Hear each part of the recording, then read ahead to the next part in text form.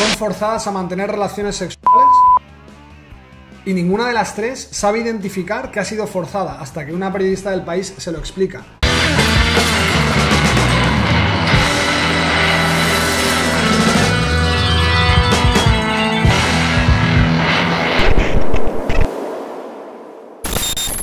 De pues una espiral de violencia en la que mantienen relaciones sexuales consentidas, pero lo que ella no consiente es el nivel de violencia que se produce dentro de esas relaciones sexuales. No consiente, pero sigue manteniendo relaciones. O sea, durante unos meses hay unas relaciones íntimas que sí le gustan, que ella sí las quiere, pero lo que no consiente es el nivel de violencia que se produce. Sin embargo, mantiene relaciones de ese tipo durante meses para llegar a decir esto es que me has tenido que sembrar todo lo anterior de relación de subordinación, relación de subordinación, para que nadie vaya a pensar entonces por qué coño iba y tú le puedas responder porque había una relación de subordinación, como ya te he repetido 54 veces. Pero no era profesional, sí, claro, pero es que eso se extrapola al ámbito de lo personal. Está endiosado Carlos Bermud y la actriz está tan lo tiene tan endiosado que cuando van a la cama ella no quiere que haya tanta violencia, pero como le tiene tan tan en alta estima, en un pedestal tan alto, en una atalaya, entonces ella se deja hacer y mantiene esas relaciones durante un montón de tiempo. Imagino, insisto, una mujer adulta que no es capaz de decir no, porque le tiene... Claro, el problema de Carlos Bermúdez es que es tan gran exponente, es tan buen director de cine, es tan exitoso en ese momento que tal vez muchas, y os puedo contar que lo que se suele escuchar y se escucha en un montón de ocasiones es no sabes, me he follado a la actriz de no sé qué, me he follado al director de no sé qué. Hay un tema de trofeos. De las nuevas estudiantes de teatro o de arte dramático, los nuevos estudiantes que de repente te aparecen y dicen, brother, ¿sabes qué? Me ha acostado con esta, no me lo... ¡Qué cabrón! Estuve en una fiesta con unos amigos cuando salimos de la escuela, me la presentaron y a lo mejor se ha acostado con una tía que ha ganado un Goya y que todo el mundo la conoce. Y de tíos a tías ni os imagináis ni os imagináis. Pero tú lo que me quieres dar a entender es para yo aclararme. Lo que me quieres dar a entender es que la chica está durante un montón de meses quedando con el tipo y para hacerme entender eso sin que yo te pueda preguntar por qué sigue quedando con él si no le gusta la forma en la que tienen sexo, tú lo que me vas a responder es que para eso me has estado comentándome varias veces que es que hay una relación de subordinación. ¿Y qué culpa tiene Carlos Bermud de que hay una relación de subordinación? ¿Qué hace Carlos Bermud mal para mantener una relación de subordinación como director frente a una actriz? Es lo que no entiendo. O sea, ¿cuál es la parte que corrompe a la otra? Es que desde el sexo Carlos Bermud luego tiene un poder, una mantiene una subordinación o mantiene a la actriz subordinada por lo que hacen en la cama y ella tiene miedo. Porque lo que tú vas a entender es que es al revés, es que en la cama ella no puede hacer otra cosa durante meses porque ella le tiene a él endiosado en lo profesional, porque hay una relación de subordinación. Entonces, sin, no quiere ella dar tampoco excesivos detalles porque todavía está procesando lo que le pasó, esto es hasta 2022, y, es muy difícil todavía para ella identificar qué cosas consentía o no consentía, y ella algunas veces intentaba pues reconducir ese tipo de relaciones violentas eh, hacia otro lado, pero veía que no. Y también tenía... Pero si no era consciente de que eran relaciones violentas, tú primero dices que, que durante meses ella sí acepta mantener relaciones, pero no le gusta la violencia con la que se producen. Dices que dos años después todavía no era muy consciente de lo que había sucedido, de lo que no, pero sí dices que en ocasiones había intentado reconducir las actitudes violentas. Pero entonces, ¿era consciente o no era consciente? Porque si no es consciente de que hay actitud violenta, ¿cómo puede tratar de reconducir aquello de lo que no es consciente? ¿Cómo puede ser? ¿Cómo lo hacía? ¿Tenía como chispazos? en un momento, lo pregunto de verdad, a lo mejor algún psicólogo me dice, sí, puede haber un momento en que tienes tan endiosada la figura de una persona en lo profesional que llegas a la cama y te dejas hacer y pasan años y dices, ostras, me han hecho esto.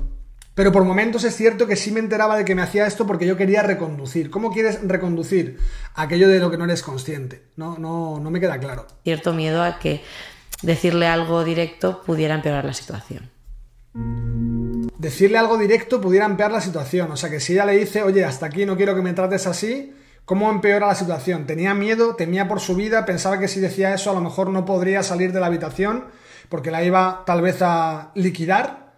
o tenía miedo de perder la relación porque le tenía tan endiosado, estaba tan enganchada a él que no quería perderlo.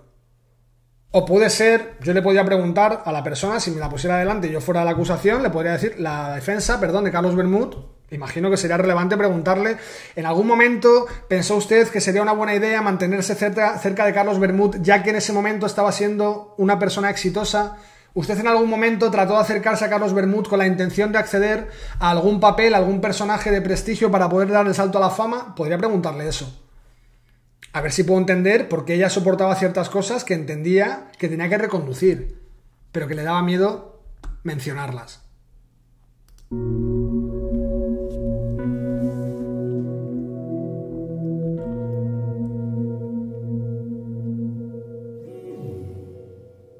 Esto que me estáis contando mm, abre un debate sobre el consentimiento.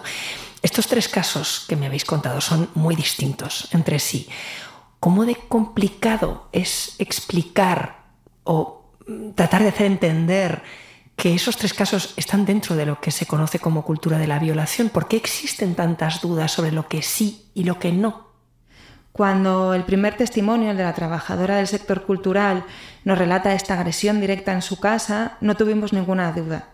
Cuando llegó el momento en que nos dice, le volví a ver meses después y volví a mantenerla. Cuando relata la agresión, no tenéis ninguna duda de qué.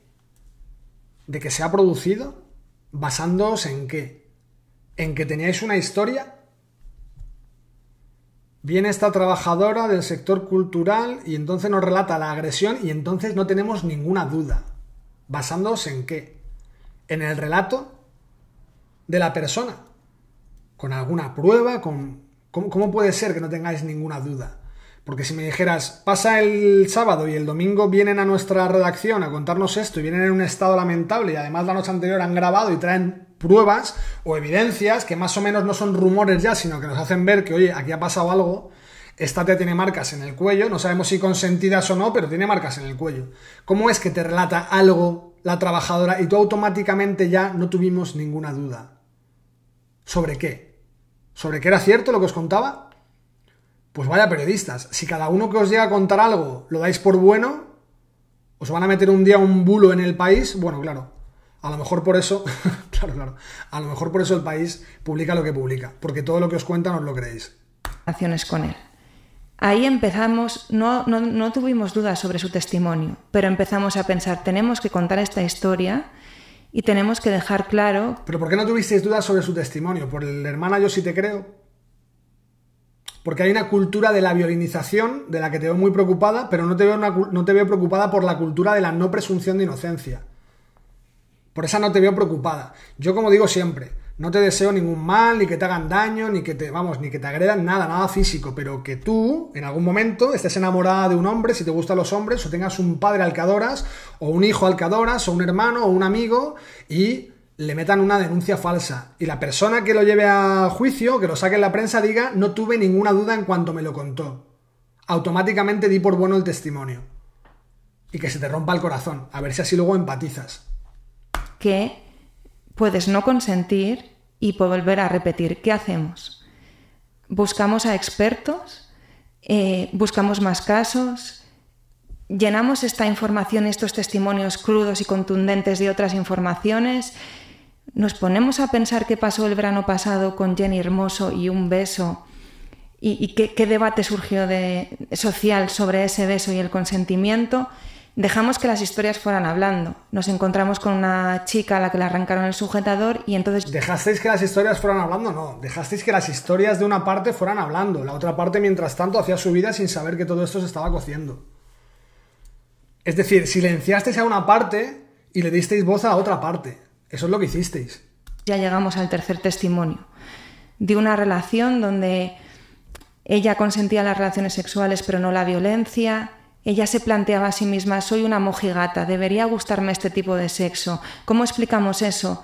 ¿Tenemos que volver a explicar que una mujer puede vivir con su maltratador 30 años? Esto fue un debate que tuvimos todo el tiempo y ¿Cómo explicábamos eso en una información? Que teníamos que ser muy rigurosos, que no teníamos que juzgar. Que... ¿Teníais que ser muy rigurosos? ¿Me lo estás diciendo en serio? ¿Tú crees que tiene algún tipo de rigor que alguien venga a contarte una historia y tú salgas aquí a decir que automáticamente disteis el testimonio por bueno, que no tuvisteis ninguna duda. ¿Eso te parece riguroso? ¿Eso te parece riguroso? Si yo fuera tu jefe y te dijera, amiga, esta información que me traes es 100% real, ¿tienes pruebas para decirme que es 100% real? Ojo, antes de contestar te digo, si no es real, si por algún extraño motivo termina no siendo real, porque no has tomado el tiempo en contrastar las informaciones de ambas partes, te garantizo que me voy a encargar personalmente, como te diría Oscar Puente, de que lo pagues caro. Es decir, me voy a encargar de que jamás vuelvas a trabajar como periodista en tu santa vida. ¿Te habrías tomado más tiempo para contrastar y no dar por buenos los testimonios a bote pronto? Porque, hombre, que hables de rigor. ¿Qué tipo de rigor? El rigor de que tienes una historia porque te han contado algo interesante, entonces escribe literatura escribe literatura. Así nadie te va a pedir las fuentes. Tú escribes literatura y dices inspirado en hechos reales o... Pero escribe literatura, no te dediques al periodismo. Y menos cuando hablas de rigor. Nosotros no somos los expertos ni los opinadores, somos los que transmitimos esa información. Sí, además creímos que el consentimiento era la clave de por qué estamos investigando esto.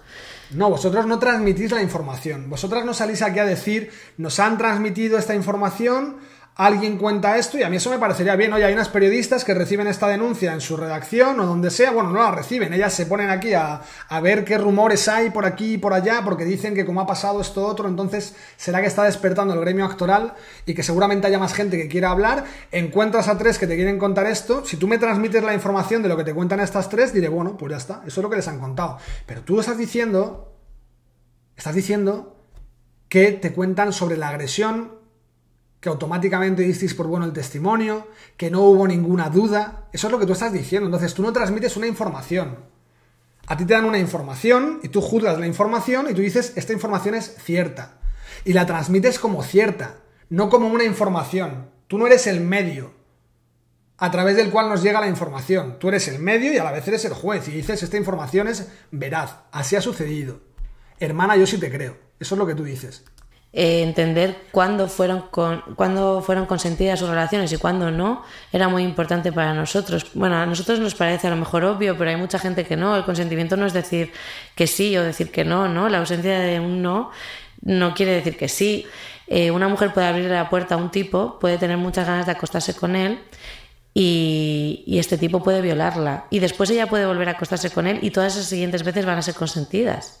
Consentimiento es muy difícil llevarlo a una ley, pero a la vez eh, creo que tiene que haber un básico, o sea, una, una base que es cuando una mujer no dice que no, no está diciendo que sí y que le quede claro a todo el mundo con esto, porque creo que todas las mujeres que leyeron esto se pueden sentir identificadas en algún momento de su vida.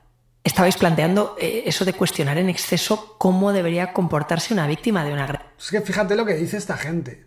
O sea, ella no dice que pueda haber casos en que a lo mejor una mujer se va a ir a la cama con un tipo y al final por lo que sea, pues la tipa va subiendo por las escaleras o por el ascensor, van llegando a casa y dice, uff, tengo la cabeza, voy a dormir, perdóname, que te he dicho que tal y en el ascensor hemos hecho ahí de todo, pero es que estoy fatal, me voy a dormir.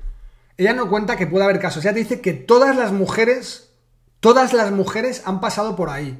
O sea, esta mujer te está, dando el mensaje de que veintipico millones de mujeres en este país, veintipico no, porque hay muchas, bueno, ya no sé qué decirte, para Irene Montero podría decir veintipico millones, porque como Irene Montero considera que una niña de dos años puede mantener relaciones si le da la gana, para 10 millones de mujeres en este país, para todas las que estén en, en una edad de mantener relaciones, todas ellas, según esta mujer, han pasado por ahí, todas saben de lo que está hablando, todas en algún momento no han querido mantener relaciones, pero las han obligado a mantener relaciones.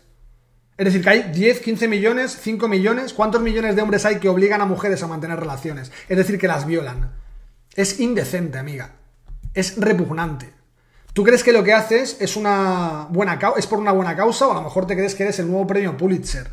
Pero es indecente el periodismo que hacéis. Indecente. Y ojo, no estoy diciendo que es indecente porque es mentira lo que estas mujeres han dicho o porque Carlos Bermud sea inocente. Digo que es indecente que crucifiquéis a una persona de esta manera. Ni siquiera esto lo habláis en privado. Y luego salís aquí a haceros los profesionales diciendo nosotros siempre tuvimos en cuenta la presunción de inocencia, simplemente agarramos el testimonio y lo transmitimos. No, no, ni siquiera hacéis eso aunque penséis otra cosa en privado. Es que aquí con dos huevos, para que veas la cultura que impera, sois capaces de decir esto sintiéndose impunes porque creéis o sabéis que nadie os va a poner firmes y os va a decir, ¿qué coño estás diciendo aquí, amiga? Que cuántos millones de mujeres en España han sido sometidas, han sido obligadas a mantener relaciones porque no han sido capaces de decir que no querían y la persona ha entendido que si no decían que no era que sí. Es una vergüenza y una irresponsabilidad, pero es una absoluta vergüenza. Presión. Porque por un lado cuestionamos todo al ser periodistas, pero no sé si aquí estamos cuestionando de más. Bueno, no existe la víctima. Que cuestionáis todo. ¿Qué, ¿Qué cuestionáis? ¿Qué habéis cuestionado? ¿Qué habéis cuestionado? No os he escuchado decir, yo os hubiera preguntado como periodista, pero claro, la que está en el país dirá, hombre, vienen aquí los amigos del gremio, vamos a, vamos a masajearnos entre todos. Espero que os pidierais, espero que la, la, del podcast os pidiera permiso, os pidiera consentimiento para poder masajearos, porque el masaje es brutal. Yo como mínimo os preguntaría, ¿en algún momento a alguna de estas tres mujeres les pedisteis, le pedisteis pruebas? No, hombre, ¿cómo vamos a pedir pruebas? Si nos está diciendo que un hombre que tiene el gen de la violencia incardinado en su masculinidad, como dijo Manuela Carmena, le ha agredido, automáticamente dimos por bueno el testimonio. Lo que hicimos fue buscar a más, sin pruebas, pero a muchas más. Un ejemplar, ¿verdad? Creo que además este reportaje abre otro debate que es lo que asumimos como normal en la sociedad española. Es decir, un hombre tiene asumido como natural que se tiene que lanzar sobre una mujer y una mujer tiene que... Pero ¿cómo que un hombre tiene asumido esto? ¿Pero qué, qué hombre tiene asumido eso? ¿Qué cifras, qué datos tienes tú de hombres que tengan asumido que se puede lanzar sin más sobre una mujer? Serás tú, mamón, será tu padre. El que tiene asumido eso, el energúmeno que tiene asumido eso, serás tú, que eres un mamón, o será tu padre el que tiene asumido eso. ¿Qué hombres? Lo que sí tenemos asumido es que vosotros, tres junta letras de mierda, podéis estar aquí dándos las de Carmen Sandiego y de Sherlock Holmes haciendo acusaciones sobre una persona, hablando de rigor, mientras estáis diciendo que ningún tipo de información veraz, que simplemente la palabra y el testimonio de tres mujeres que quieren mantenerse en el anonimato. ¿Pero de qué me estás hablando? ¿Qué hombres? ¿Qué hombres? Lamento que tu padre se haya balanzado sobre tu madre, amigo, pero pídele cuentas a tu padre. No nos manches a todos los demás. O compórtate tú. Imagino que hablas de ti mismo. Imagino que hablas de ti mismo, que eres incapaz de no abalanzarte sobre las mujeres. Vete a una comisaría y dice, chicos, arrestadme porque es que no me, no me puedo controlar, soy un energúmeno, soy una bestia, tengo asimilada la idea de que yo me puedo lanzar sobre la mujer, entonces en cuanto veo cualquier mujer, me abalanzo sobre ella. Pero habla de ti, mamón. Asumir como natural que si sube a un sofá de un hombre va a tener que tener sexo con ese hombre. Creo que eso la sociedad española todavía tiene que superar ese debate, que es un debate ilógico, y creo que las nuevas generaciones sí que tienen muy claro este concepto, que viejas generaciones todavía se creen que por ir a un sofá tiene que pasar lo que tiene que pasar, según ellos. Y yo también querría agregar... Según ellos, este tipo, amigo, tú has follado poco, o te has relacionado con poca gente, o no sé. O no sé, porque yo me he visto envuelto en situaciones en las que le he dicho a alguna chica en mi casa, sal de casa, cógete un taxi, yo te lo llamo, vete ya, te estás poniendo muy pesada, estás muy borracha, por favor vete a casa, y ni siquiera cuando haya sucedido nada de todo este rollo, que uno pudiera decir, madre mía, qué miedo, a ver si esta mañana, pero ves a una mujer tan borracha en tu casa que le dices, amiga, estás muy borracha, vete a casa. Y me ha salido por la puerta llamándome maricón. Tú crees que solamente un tipo se calienta, ¿no? Que solamente calentones tienen, tienen los tipos. Que solamente los tipos son los que teniendo calentones no se pueden controlar. Las mujeres no se calientan. Las mujeres no se ponen cachondas. Las mujeres no se meten tres contigo en un baño. No hacen eso. Sí lo hacen, amigo. Sí lo hacen. Te garantizo que pueden meterse tres mujeres contigo en un baño. Hasta el culo de todo. Y salir todos más contentos que unas pascuas. Sí lo hacen. Imagino que en tu mundo de golosina no. Tú dices que el debate es ilógico, sin embargo planteas el debate. Hablando, imagino, insisto, de tu padre y de ti, que no os controláis. Yo lo lamento mucho, cuando quieras quedamos y te explico cómo me controlo yo. Y es muy sencillo, entendiendo que lo que tengo delante es un ser vivo y es una mujer. Y que no le voy a arrancar el sujetador si le acabo de dar el primer beso, que no soy un puto energúmeno. ¿Qué tipo de caricatura queréis hacer? ¿Qué retrato queréis hacer?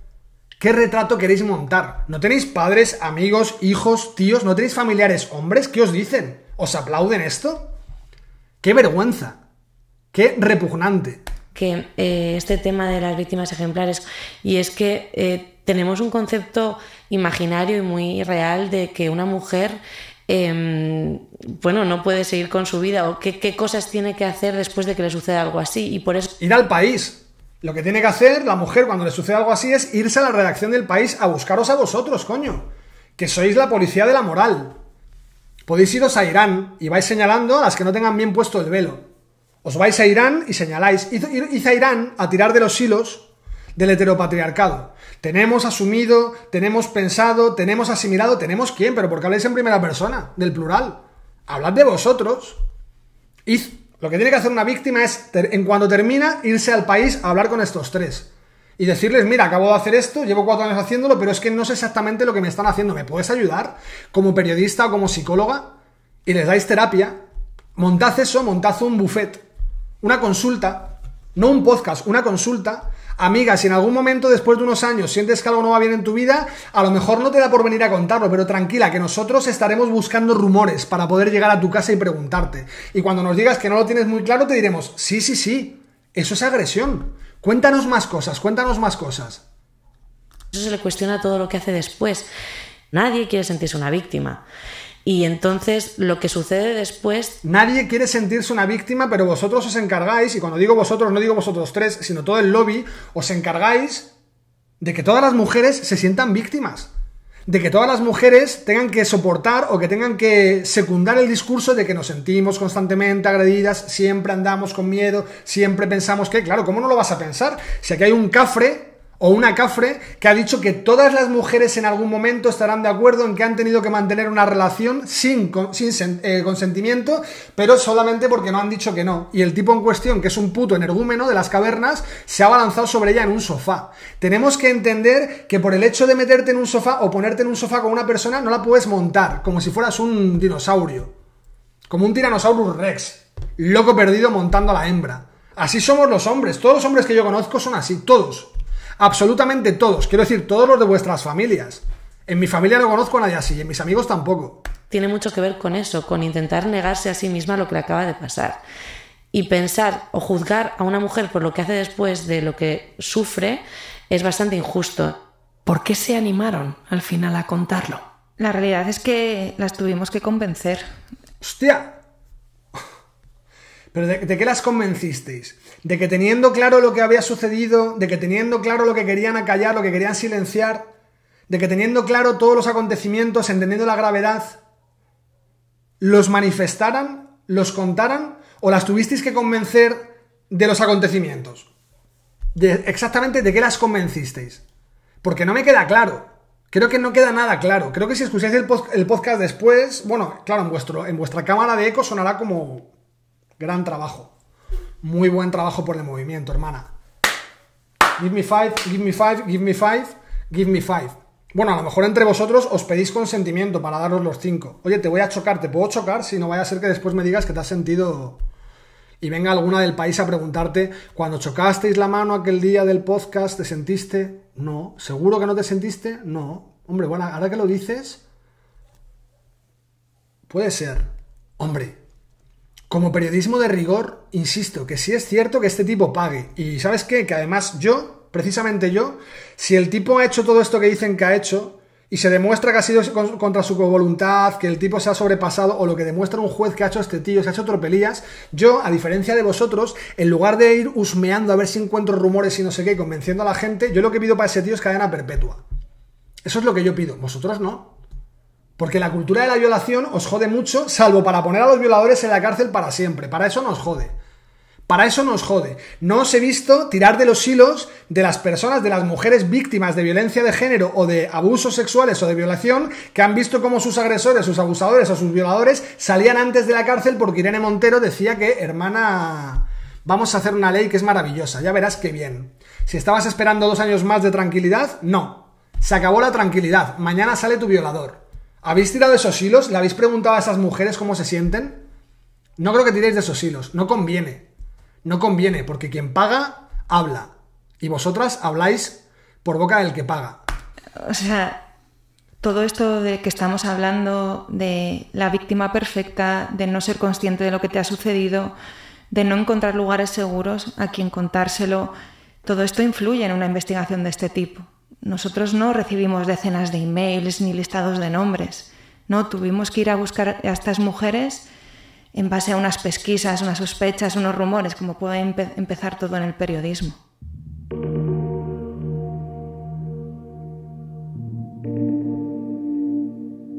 Dadme un momento, enseguida me contáis. Uf, por el amor de Dios. Uf. Dadme un momento, enseguida me contáis. Ah. Dios mío, qué nivel, por favor.